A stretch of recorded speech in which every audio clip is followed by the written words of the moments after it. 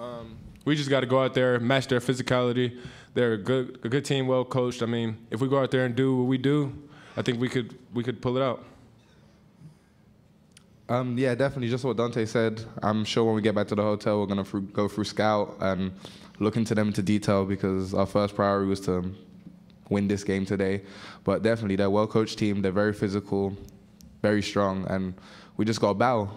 We're, we're never gonna quit. We're gonna keep fighting. That's something we definitely need to do for 40 minutes tomorrow to compete in that game. And I'm very happy for them. I mean, we've worked very hard this year um, and last year of building a culture, uh, raising the expectations and standards every year, and they've trusted the process. Even though you don't always see the results, you got to keep them focused every day on blocking out noise and just staying the course of what we're trying to do.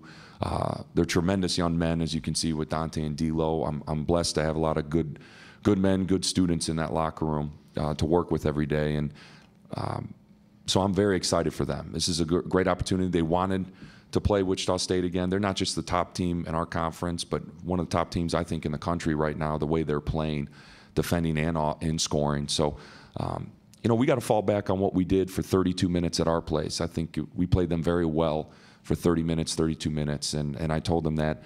Uh, but to beat a Wichita State, you got to play 40 minutes of tough, physical, smart basketball, and we definitely have to with our youth against them. And um, it's going to be a great test for us. But I'm excited for our, our program. I'm excited for these young guys to have this uh, experience, and, and we're going to go in there and compete. I, I know that. I mean, our effort and energy in practice has been tremendous in February, and the competitiveness uh, is going to continue to be there. So we're going to get out there and throw it up, and let's see see what we got.